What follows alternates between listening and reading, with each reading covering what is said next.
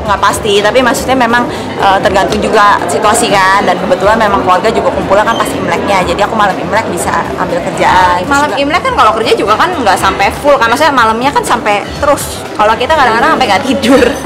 Jadi tidur paling dua jam tiga jam. Jadi ngobrol tuh maka kalau imlek itu ngobrol itu misalnya dari malam nih nah pada datang misalnya atau apa. Nggak tahu nanti mungkin juga kalau belum full banget mungkin ada yang mau datang ke sini nggak tahu juga. Jadi uh, apa sampai sampai kita perangkaiannya tuh kalau imlek tuh dari malam imlek terus sampai imlek sampai nanti kan cap gome jadi nggak nggak cuman hari itu doang gitu kumpulnya.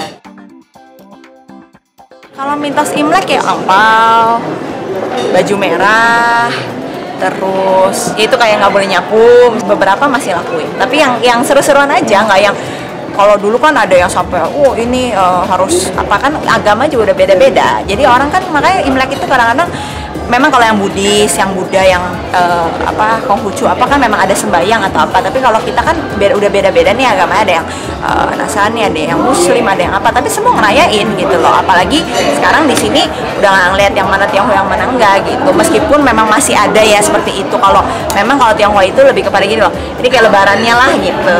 Tapi sebenarnya bukan bukan ini bukan bukan keagamaan tapi lebih ke tradisi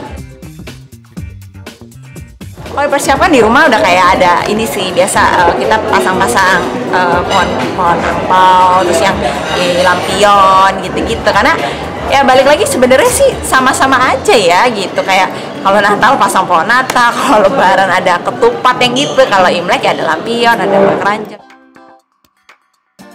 kalau Imlek biasanya Oma suka masak, Mama suka masak. Uh, ada yang kayak namanya miswa itu mie panjang umur gitu. Tapi bikinnya aneh-aneh bisa kadang-kadang bikin sop bisa dibikin goreng bisa dibikin apa. Terus eh, kadang-kadang uh, kalau misalnya imlek tuh kalau oma kan kepada kumpul nih jadi dia kayak ini uh, gue buka kalengan mahal nih gitu. Kalau orang uh, tradisi itu kadang-kadang gitu kayak biasa tuh pauhi itu kayak sirip ikan. Terus yang bagian-bagian ikan yang uh, katanya sih mahal gitu padahal sih nggak biasa aja gitu. Cuman uh, kalau orang zaman dulu tuh termasuknya fancy gitu. Kalau dulu kan zaman dulu kan ibaratnya makan dagingnya itu keren gitu. Karena orang Chinese dulu kan susah gitu loh makan nasi aja tuh udah seneng gitu loh. Jadi ya itu bagian-bagian ikan daging apa tuh dikeluar-keluarin semua pas imlek. Karena memang seolah-olah tahun baru.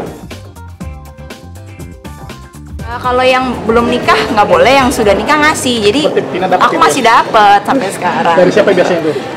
Yang udah nikah aja yang kita ketemuin. Kalau pokoknya kalau Imlek tuh kalau yang udah nikah biasanya dia banyak banget angpaunya.